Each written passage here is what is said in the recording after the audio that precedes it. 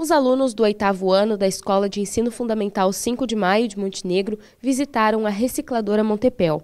O passeio integra uma série de eventos que a Prefeitura promoveu para comemorar a Semana Municipal do Meio Ambiente.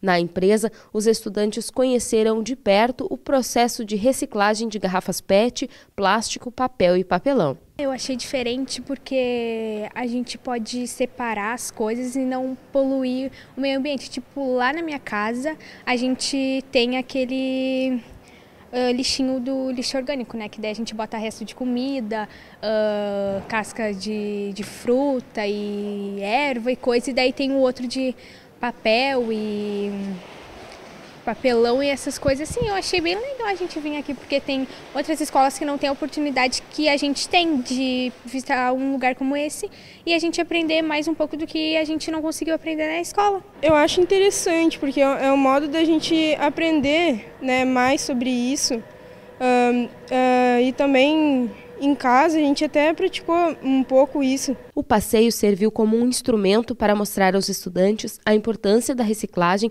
e da destinação correta de resíduos. A Montepel atua na cidade desde 2002 e tem por finalidade aproveitar os rejeitos descartados pela população.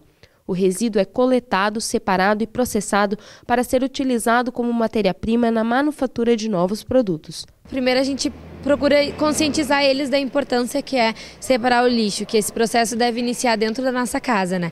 Então a gente mostra para eles, normalmente passa um videozinho, mas se a criança é, é, difícil, né? A gente fica conversando, eles não entendem muito, então a gente meio que tenta uh, ilustrar para eles qual é a importância do lixo, que se não houvesse esse tipo de serviço uh, da nossa parte, da parte dos catadores, das empresas de reciclagem, talvez a gente nem andasse nas ruas, né? A Montepel e a Escola 5 de Maio ficam em bairros vizinhos, por isso, a ideia de levar os alunos até o local foi abraçada pela direção do educandário. O propósito da instituição de ensino é incentivar os estudantes a fazerem a separação dos resíduos. Eu acredito ser de suma importância né, o fato de da própria Secretaria eh, Municipal do Meio Ambiente estar proporcionando isso né, para nossa escola, uma vez que o processo de reciclagem realmente é algo muito importante né, ser feito, né, uma conscientização que precisa ser, ser feita com eles, no momento que eles têm contato então mais de perto e conseguem entender realmente como se dá esse processo, eu acredito que eles internalizem utilizem isso né, de uma forma mais eficaz. Ao promover esta integração